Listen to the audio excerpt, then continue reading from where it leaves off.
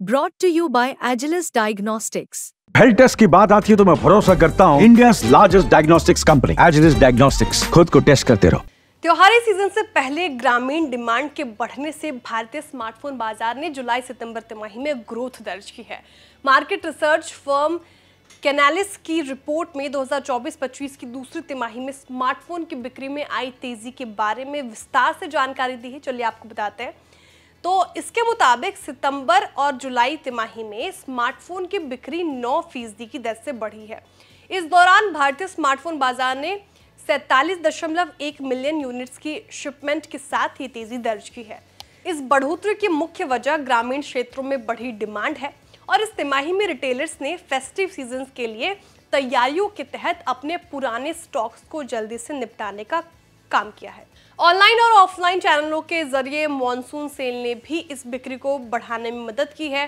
केनालिस के मुताबिक, बाज़ार में टॉप ब्रांड्स अपने मिड हाई रेंज पोर्टफोलियो का विस्तार कर रहे हैं। उनका मकसद त्योहारी बिक्री के दौरान अपने स्टॉक्स को खत्म करना है।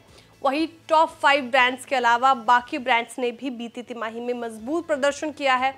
एप्पल ने आईफोन 15 के ज़रिए महत्वपूर्ण बिक्री की, जिसमें छोटे शहरों से ज़्यादा मांग देखने को मिली है। इसके अलावा मोटरोला गूगल और नथिंग जैसे ब्रांड्स भी अपने यूनिट्स की बिक्री को बढ़ाने में सफल रहे हैं।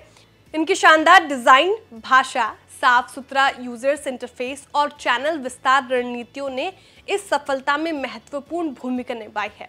रिपोर्ट के मुताबिक वीवो ने पहली बार मार्केट लीडरशिप हासिल की है और इसने जुलाई सितंबर तिमाही में 19 फ़ीसदी मार्केट शेयर हासिल करके 9.1 मिलियन यूनिट्स की शिपमेंट की। दूसरे स्थान पर शाओमी है, जिसने 7.8 मिलियन यूनिट्स की शिपमेंट की है, जिसमें कंपनी के बजट 5G लाइनअप का बड़ा रोल है। सैमसंग तीसरे स्थान पर है, जिसने 7.5 मिलियन यूनिट्स की बिक्री की है। और बिना वन प्लस के ओप्पो ने 6.3 मिलियन और रियलमी ने 5.3 मिलियन यूनिट्स के साथ टॉप फाइव में जगह बनाई है।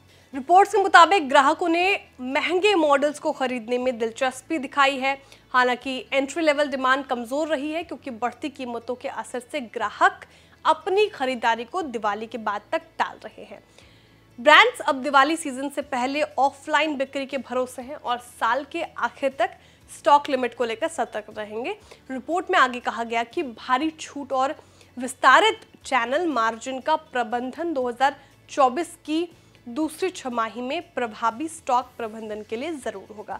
रिपोर्ट अच्छी लगी हो तो लाइक कीजिए चैनल को सब्सक्राइब कीजिए और देखते रहिए बिस्तक। बिस्तक आपके लिए लाया है प्रीमियम मेंबरशिप प्रोग्राम जहाँ आपको मिलेंगे कई सारे फ़ायदे जिनमें मार्केट न्यूज़लेटर, लाइव चैट पर आपके सवालों के सबसे पहले जवाब मार्केट आउटलुक वीकेंड पर मार्केट स्कैन एंकर्स के साथ चैट और भी बहुत कुछ। इस प्रीमियम सब्सक्रिप्शन में तीन तरह के प्लान हैं। सिल्वर, गोल्ड और प्लैटिनम, जिनकी शुरुआत मात्र एक रुपए महीने से होती है। इससे जुड़ना भी बेहद आसान है। बिस्तक के YouTube चैनल पर जाएँ, ज्वाइन बटन पर क्लिक करें और अपना प्लान सिलेक्ट करें। बस, बन गए आप हमारे प्रीमियम मेंबर।